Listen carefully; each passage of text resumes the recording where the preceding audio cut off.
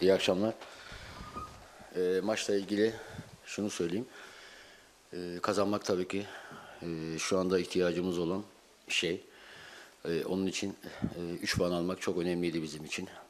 Yani en azından moral olması açısından ileriye daha e, pozitif bakmamız açısından çok önemli bir galibiyet aldığımızı düşünüyorum. Oyuna gelince çok e, savunma yapan bir takıma karşı oynadık. E, çok fazla kendi sahasında bekleyen, e, savunma yapan, e, bizi çok zorlayacak bir rakibe karşı oynadık. E, aşmak için mutlaka gol bulmak e, zorundaydık. Zaman zaman pozisyonlar bulduk ama ikinci yarıda attığımız gol e, oyunu kazanmamızı sağladı. Özellikle Larin'in e, orada olması, işte Raşit'in yaptığı çok güzel bir asiste Larin'in gol atması e, bizi çok mutlu etti onu söyleyeyim.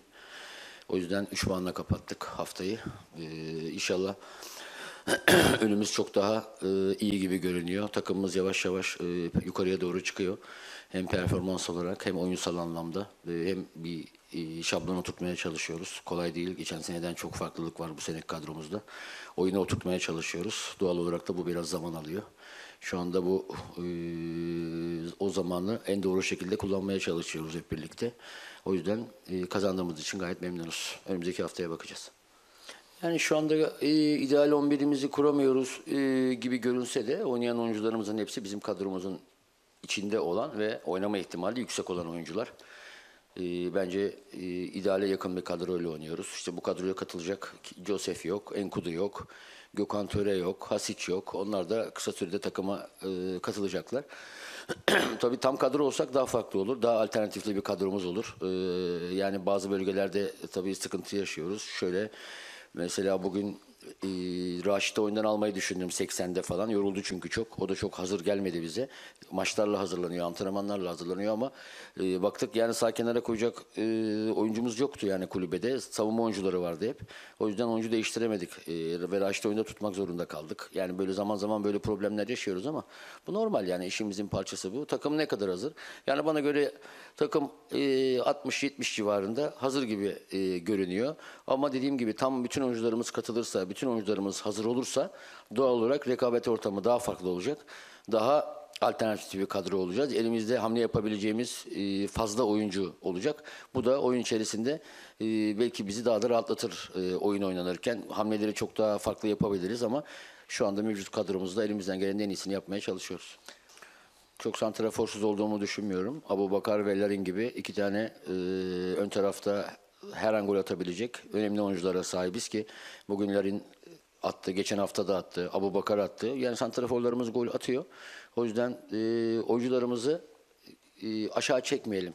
Yani bizim oyuncularımız iyi oyuncular. Bizim oyuncularımız bize de çok daha maç kazandırır. Ya o Dorukan konusu 25 yaşında amil takım oyuncusu. Önemli çıkış yapan bir oyuncu. Biz de onu kullanıyoruz e, oynadığımız müsabakalarda ama tabii kont- kontrat konusu başkanın ve yönetimin işi. Benim konum e, değil bu. Yönetim başkan ne zaman kontrat yapmak isterlerse Dorukan'la o zaman yaparlar. Yani çok e, ya konu e, ya mevzu beni aşar yani biraz. Teşekkür İyi ederim. akşamlar. Sağ olun. Beklentim şu, e, Laiş ile ilgili şunu söyleyeyim. Yani özel yaşantısı falan beni çok ilgilendirmiyor. Hani o özel o konulara girmek istemiyorum. O oyuncunun kendisiyle ilgili bir konu. Ne zaman güçlenirse, ne zaman e, istediğimiz seviyeye gelirse, bizim istediğimiz mantalitede oynarsa o zaman e, Laiç'i sahada görebiliriz. Şu anda e, bugün Oğuzhan'ı kullandık. Devamında Mensah kullandık. Adem'i kullanamadık ama bundan sonra Adem'i kullanmayacağız anlamına gelmiyor bu. Tabii ki yetenekli bir oyuncu, bizim için önemli bir oyuncu. Ne zaman bizim istediğimiz seviyeye gelirse fizik olarak, istek olarak, güç olarak e, o randımanı alabileceğimizi düşündüğümüz zaman Adem Reis sahada olacaktır ama şu an için e, düşünmüyoruz. Orada alternatif oyuncu çok fazla çünkü orta sahamız biraz kalabalık. Atiba var, Josef var, Dorukan var.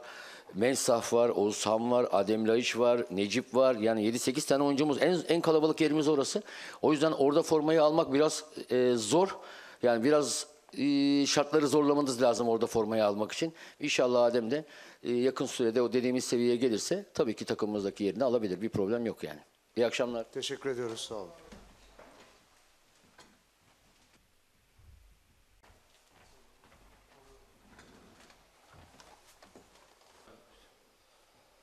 Evet arkadaşlar, iyi akşamlar herkese tekrardan.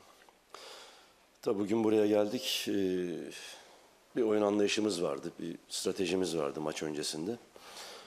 Rakibi ikinci bölgede karşılayıp oradan hızlı hücumlarla gol bulabilirsek belki e, oyunun ilerleyen dakikalarında e, daha farklı bir oyuna dönebiliriz diye düşündük.